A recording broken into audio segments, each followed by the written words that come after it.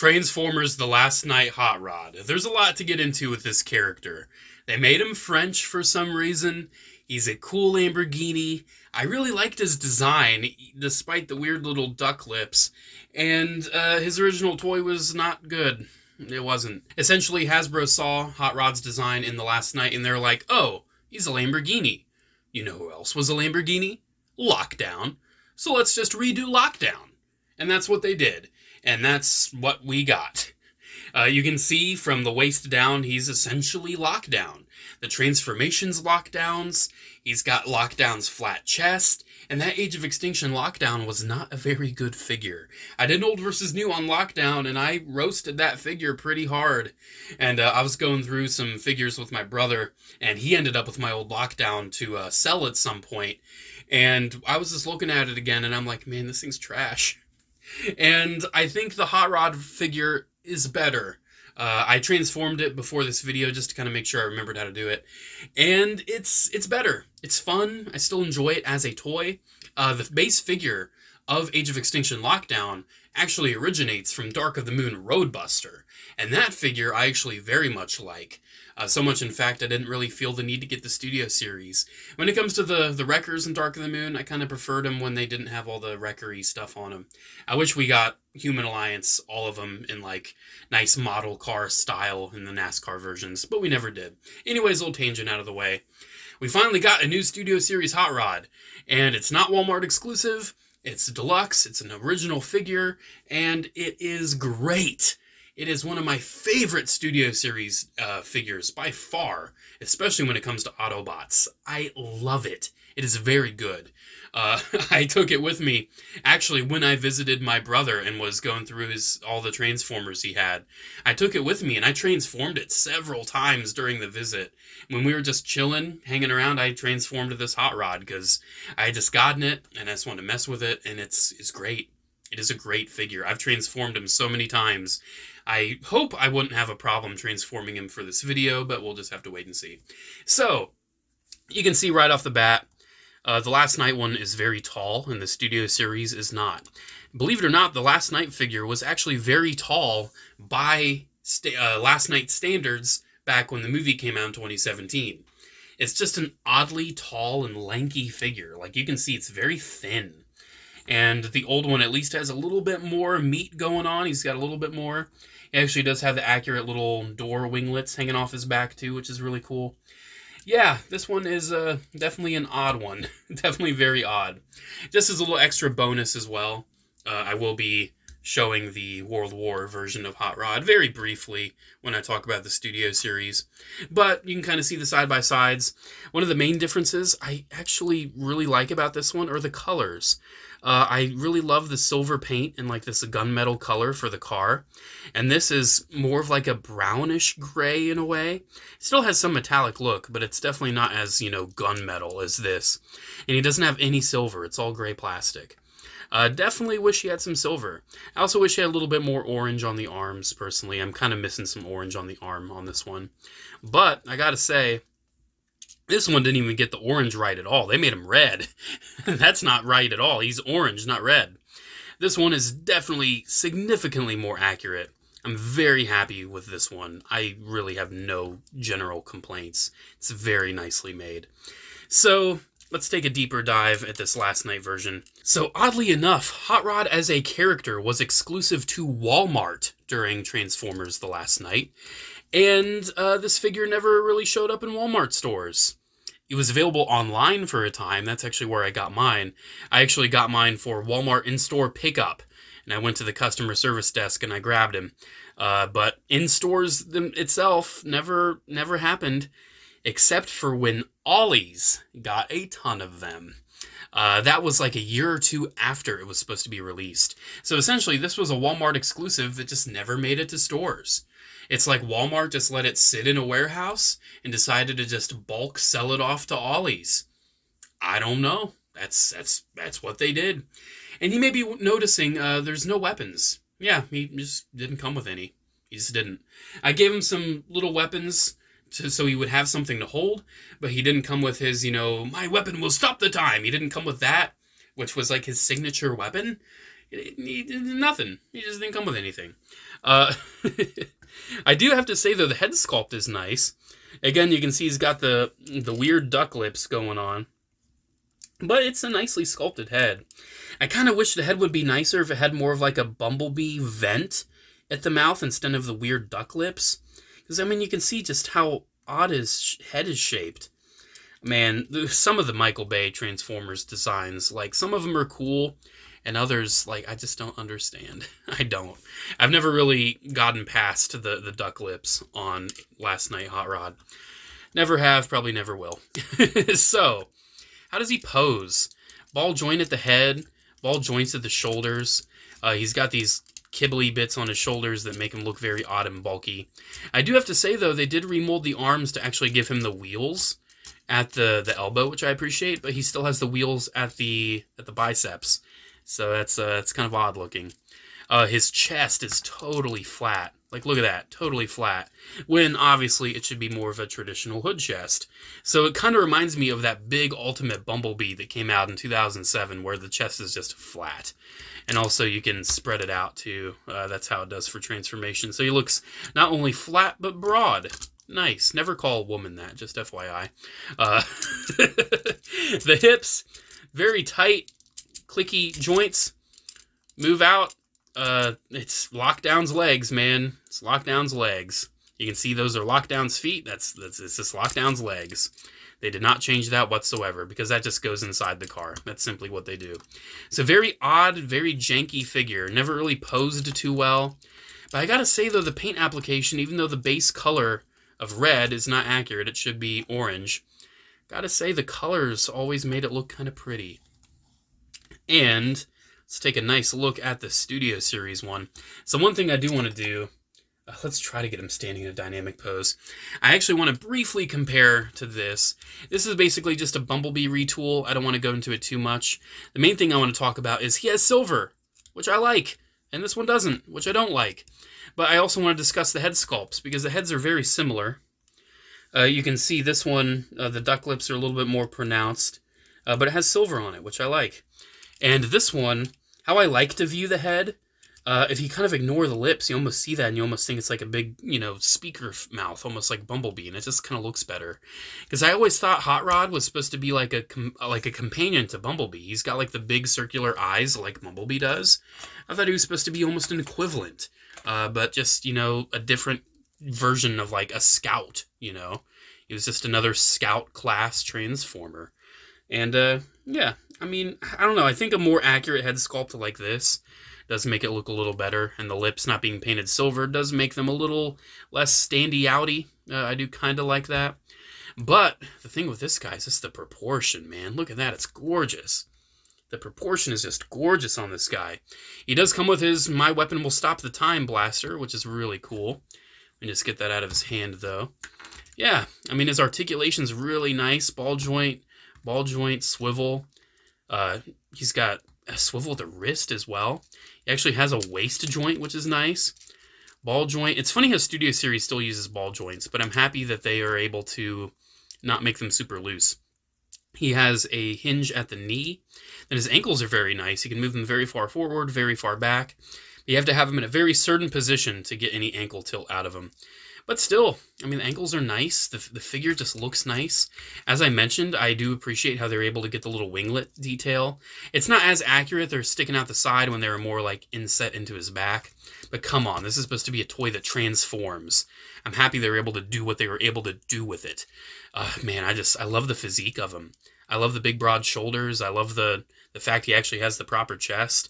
I love the little orange trimming he's just really he's just really pretty, man. He's a nice looking figure.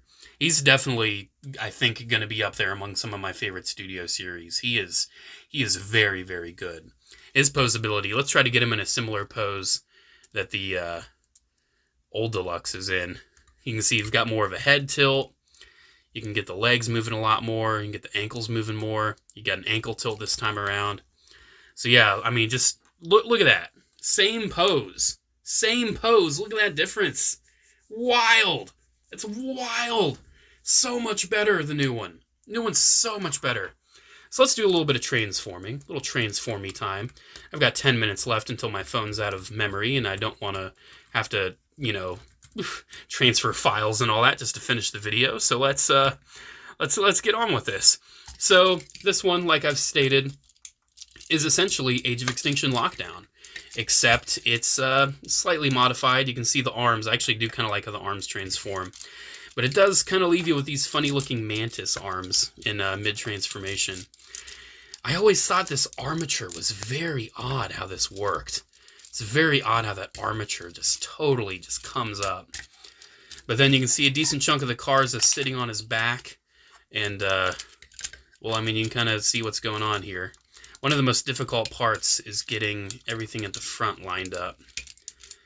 Because the, uh, the windshield wants to be incorrectly tabbed. The legs, they just fold inside the vehicle. That's all they do. They just tab together and they awkwardly fold around the head. You can see, just kind of get it positioned just right. Get the legs positioned right. Tab it in. And then it just kind of folds inside the vehicle. And then the arms form the shell of the car. It's literally just this giant shell. Oh, I forgot. Have these little panels you have to flip out. And then you just kind of close the arms around the shell. And takes a little bit of finagling, but we'll get there. We'll get there. It's a pretty fun and smooth transformation, I have to admit. Like, a big reason why I was able to get rid of that Age of Extinction lockdown was because I'm like, well, I still have the toy. It's just Hot Rod. Now, granted, it's not a good Hot Rod, but it's, you know, not a bad toy. Uh, I think the best version of it is the Age of Extinction, or not Age of Extinction, is the Dark of the Moon Roadbuster by far. You can see where I'm having issues tabbing the front end. There we go. It's pretty much lined up. Last step is getting these little back bits in. And there we go. And believe it or not, this is pretty much the mode this guy is staying in for the rest of his life. Because the robot mode's kind of jank, but this vehicle mode is so slick. That is nice looking. I am a big fan of this alt mode. That just, mm, that just looks really good. Might be able to like get a push pin in there and like hang it on the wall or something. That'd look nice. This is a nice alt mode. I love the gunmetal gray color. I love the trimming. It's not the right color trimming, but it still looks nice. I like the silver rims. Again, I am missing the silver on the Studio Series, but gotta say this is this is a slick car. I'm really digging that. However, the Studio Series transformations is too darn fun. I just enjoy it too much. That's my problem. It's just such a fun figure, man. I love how much of the feet uncurl and form the back of the car. It's very uh, unusual and very rare that feet actually contribute greatly to an alt mode in Transformers, but it's always appreciated. I, it's something I just kind of noticed more recently. It's feet don't really do much. Oftentimes they just fold away. So it's kind of cool when the feet actually form something, you know? I can appreciate that. So get the feet all kind of tidy and put together. There's a lot of hinges to work with, but once you get them together, you got them together. So there's the pretty much the bottom half of the car done. We will rotate the waist. That will be necessary for the transformation. And there's some stuff in the way, but it's not too bad. It's funny, uh, similar pieces that fold out on the old one fold out on the new one as well. I do like how this panel uh, actually clips into that panel. It keeps the backpack very nice and sturdy and stable. However, we'll rotate this around for the transformation. And that will connect with that in the alt mode. But let's do some stuff, some work with the chest first. So the arms will very similarly fold out like the other one. Make sure the hands are straight. And then one of the biggest steps, I love how the chests are on sliders. The chest is on sliders, so you slide the chest out just a little bit. Then you start uncurling all this inner working. And stuff that ended up on the back of the old one ends up being inside him on this new one. You do have a little bit of clearance issue with the head, but once you get that out of the way, you're all good to go. Uh, I do believe it's a little nicer to turn the head around on this figure. But let's get the, the hood together. I've transformed this thing so many times. I had so much fun with it. Uh, it is a little bit of a, a fiddle a little bit of a fiddly guy, but it's nothing too severe. It's not like, oh my gosh, this is such a nightmare. Uh, but you can see my, my methods of transforming figures are often just mush the parts until it fits together. It's just more fun that way for me. so you can see the arms will need to more fully go inside the body. But once they do, they do. And you can see how the arms kind of have this natural contour to go around. And we're pretty much there. Pretty much just have to line things up and tidy it together. I only have six minutes to finish the video. Oh no. But I think we'll get there. I think we will. Just got to line things up. That's lined up. That's lined up. Lined up. You can see everything just kind of pop, pop, pop, pop.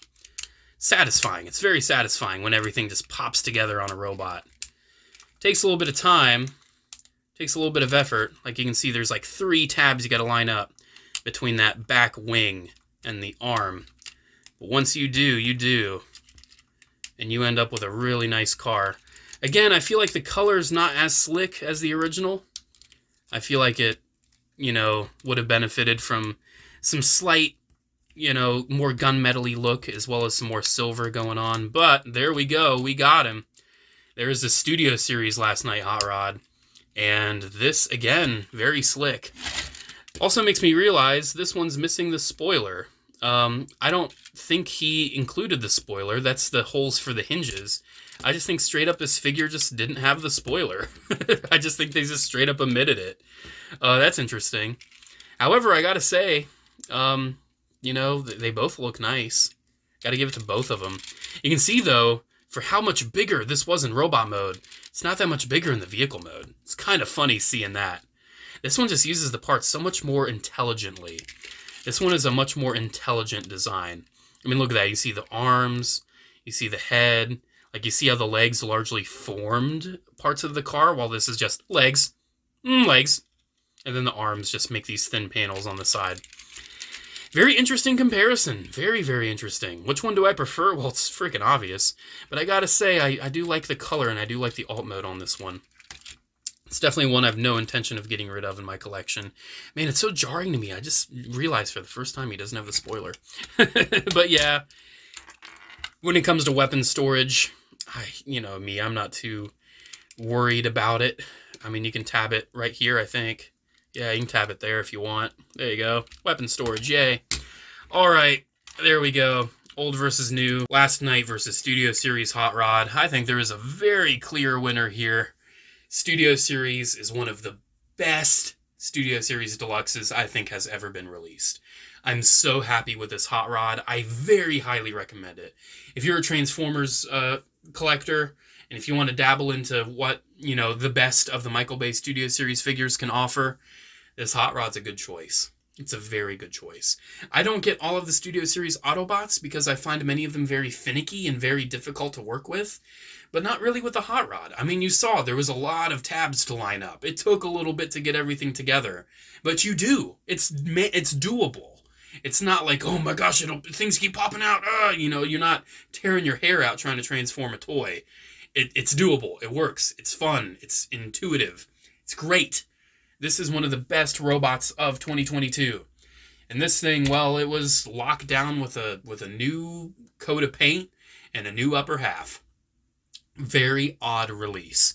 Not only the figure itself, but also how it managed to get out to people. Uh, so yeah, am I going to keep the old one? Yeah, yeah. I mean, I have a whole shelf full of hot rods. I did a YouTube Shorts on it. I'll just throw that guy on it. Maybe, maybe hang him up in alt mode with a push pin next to the shelf or something. I don't know. Might keep him in robot mode. We'll just have to wait and see. Alrighty, there we go. Thank you guys so much for watching. Special shout out to the patrons of Patreon as always. Thank you all so much for the continued support. Alrighty, there we go. Thanks for watching. Have a great one, and I'll see you in the next video. Bye.